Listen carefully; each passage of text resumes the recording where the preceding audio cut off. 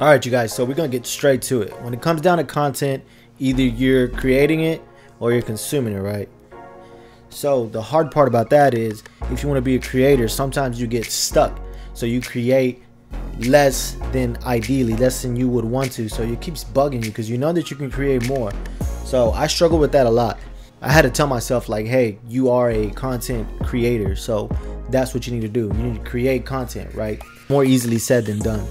But the more I thought about it, it's like, what is what's stopping me from creating this content that I want to create? That I want to share with you guys because I know I know stuff, I know things, I know everybody has something that they can share, and I feel like I have stuff that I can share with you guys. But what is holding me back?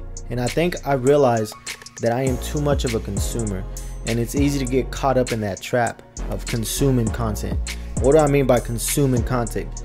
Content. So what do you do? You grab your phone, right? I, I don't keep a case on mine, but you grab your phone, you go straight to Instagram, straight to Facebook, YouTube, whatever, you start consuming this content. That's fine, right? You're a consumer. But if you're gonna be a creator, you have to create some content too. It's not fair to these people that you're just consuming all this content, you're not creating anything. Especially when you have something to offer. Especially if you know something and you're not sharing it. Like, why are you not creating if this is what you're supposed to do? This is what you signed up for. This is what I signed up for. To be a creator, to share with you guys knowledge, right?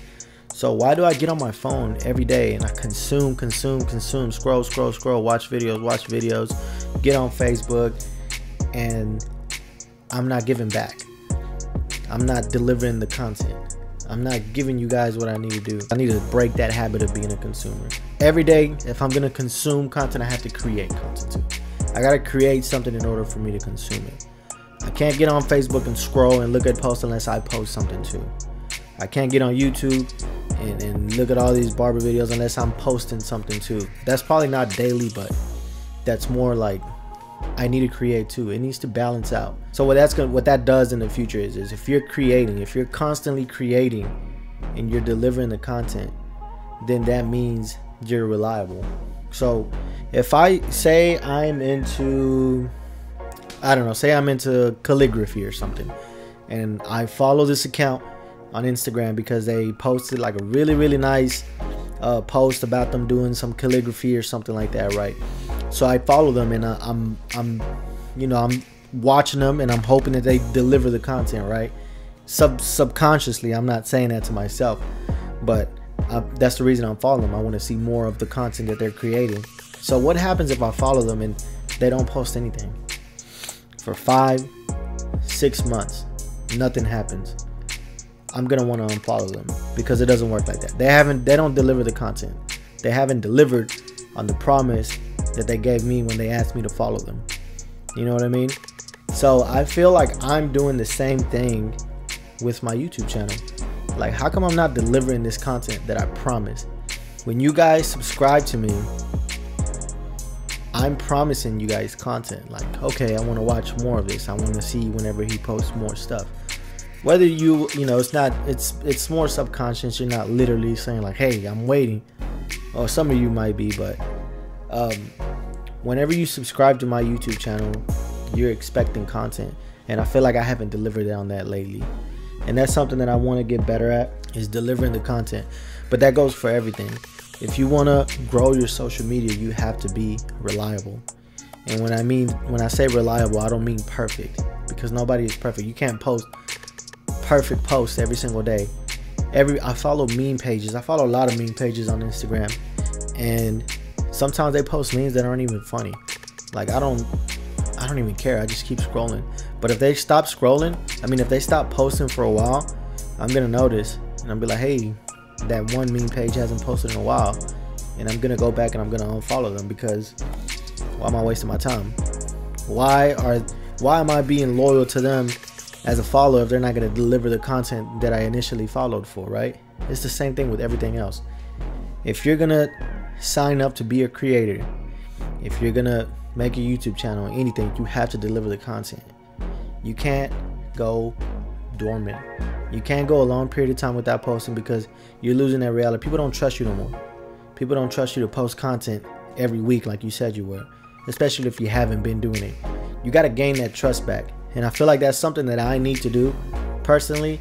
And that's why I'm creating this video. This video is something that I had a conversation with one of my friends about it, and we were talking about it. And while we were talking about it, it just kind of went into that because he, he also creates. And he was telling me how he wishes he could create more. And we just got into it. It's like, man, like, why is it so hard to create?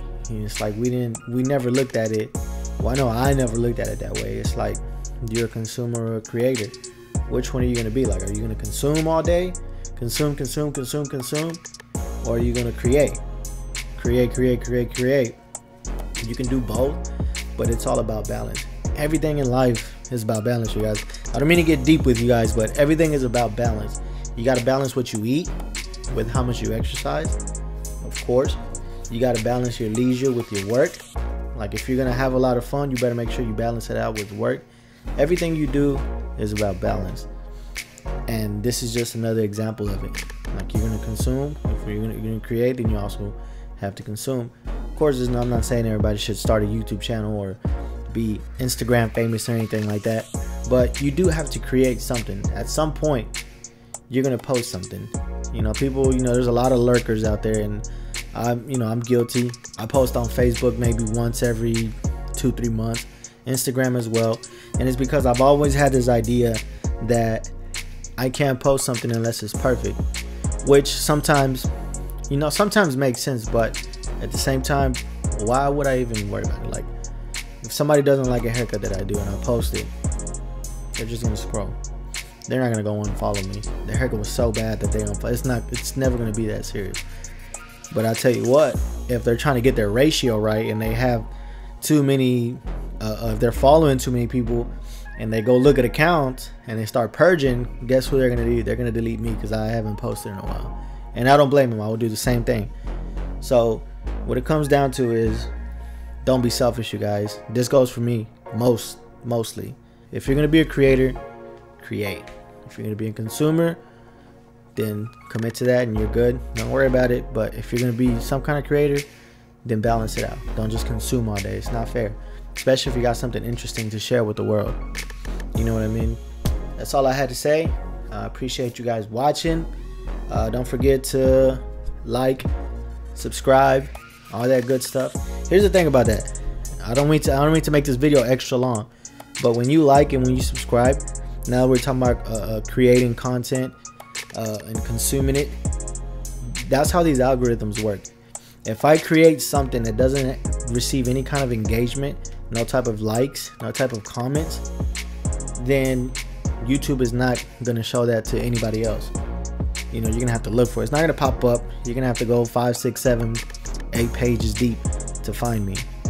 So the more you engage, the more you like and comment, the more YouTube's gonna be like, hey, people like this video. Let's let's bump it up a little bit. That's how engagement works, and that's how the algorithms work. So I would really appreciate if you guys like and comment on this video. And yeah, appreciate you guys watching.